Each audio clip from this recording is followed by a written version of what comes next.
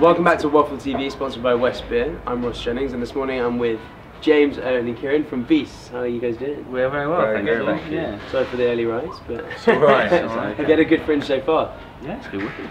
Really nice. Yeah. Yeah, really good.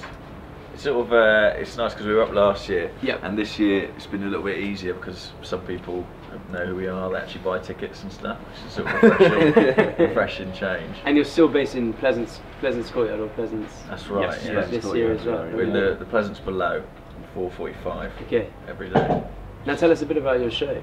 It's a sketch comedy, and you had you guys are quite fast paced, but The sketch comedy, yeah, it's it's um, it's hard to describe because with- with sketch it's different every minute, two minutes, three Yeah. minutes. Um, but we do have things that sort of interlink and interweave, and uh, there's sort of overall themes of uh, childhood nostalgia and the death of childhood, which is the main theme, but no one's noticed it yet. it's kind of a, a theme that runs Subtle underlying, Subtle yeah. underlying. Or was it's mostly subtle? balanced out by stupid jokes. Okay. And uh, but yeah, it's, it's quite fast paced. It's kind of it's, it's quicker and better than our last year's show. It's uh, last year's show was very drawn out. Ambling, ambling, is the word yeah, I would yeah, use. yeah. and how, is is it similar at all from last year's show?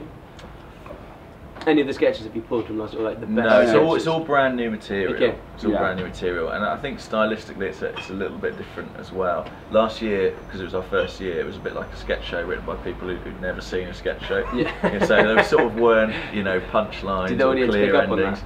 that? um, sometimes, but Okay. you know generally it went well, and, and I think that sort of stood us in quite good stead. It made it different and unique, but it also left some of the audience feeling a bit lost Confused. sometimes. Yeah. Mm. So I think uh, we've sort of tightened it up quite a lot this year, um, and I think the sort of laugh ratio hopefully is a bit higher. Mm. Uh, and I think, yeah, I think it's a step forward.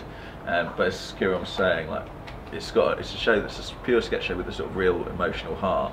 We've just hidden the heart behind dicking around mainly, being Perhaps stupid. too well. Yeah. Too well. Well, you got you had fantastic reviews. I was reading one review. This guy was like, "Best thing I've seen in the fringe so far." Which he's nice. correct. which is- is, yeah. He's a mate of He's a mate of ours.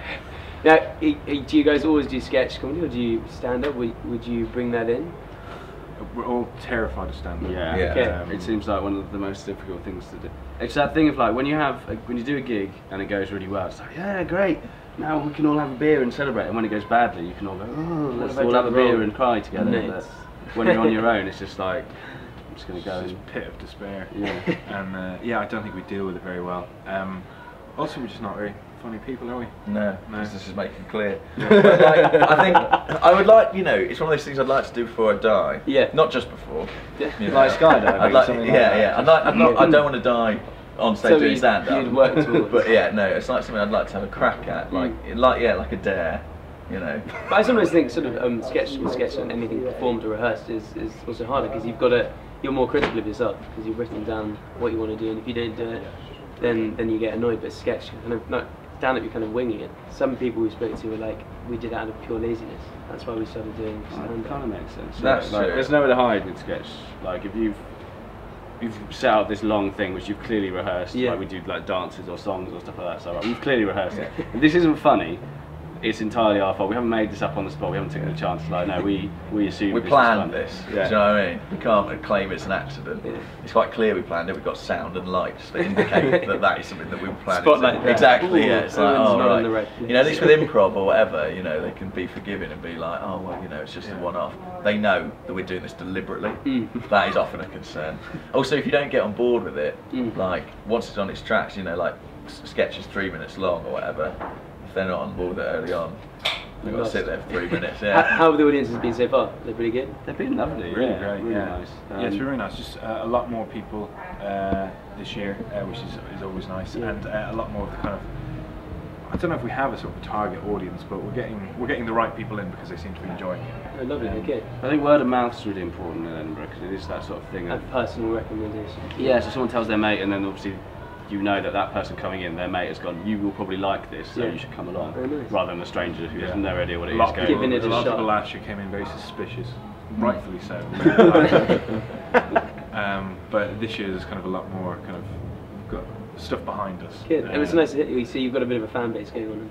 Hopefully, we call yeah. it Getting fan there, base. getting we there. call it fan base. We've One or two members. They're both maybe. lovely. Yeah. and will we be expecting you guys back next year? Yes, definitely. Definitely. Yeah, yeah, yeah. With Thank new stuff and all that. I didn't say anything then, but it seems that we are coming back.